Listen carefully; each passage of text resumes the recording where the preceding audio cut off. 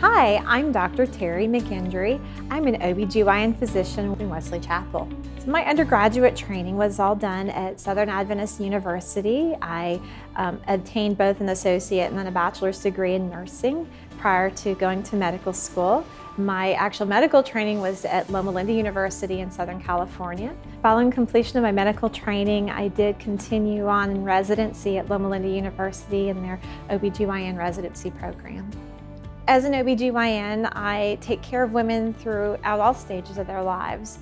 Um, through their childbearing years, I deliver babies, I perform surgery, um, I do normal deliveries and some high-risk deliveries, um, but I also specialize in minimally invasive surgery. I'm very passionate about minimally invasive surgery. Um, I enjoy using robotics for advanced laparoscopic cases, um, but I also do other kinds of surgery as well. I do pelvic floor reconstruction and incontinence surgery in addition to all types of hysterectomies. I also specialize in advanced menopause therapy with implanted hormone pellet therapy.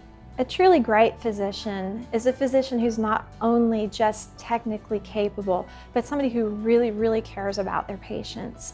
When I see a patient, I want them to understand exactly what they need to have done, and I want them to understand that I really care about them body, mind, spirit, heart, and soul.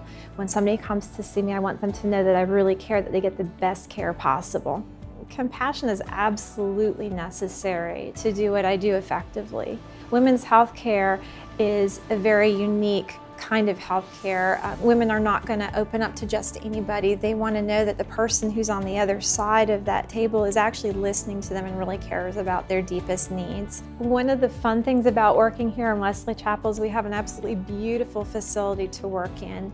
And we have an entire women's center here that um, it enables us to bring multiple specialties together to care for women. I am married and I have been married to my husband for 26 years. I have three beautiful children that are mostly grown at this point. In my spare time when we're not taking care of family, I have um, an orphanage that my husband and I have founded in Haiti. And uh, so we have been doing charitable work um, going down to Haiti to take care of our children in our orphanage. I'm very excited to be coming here to Wesley Chapel in order to bring care to you and your family members.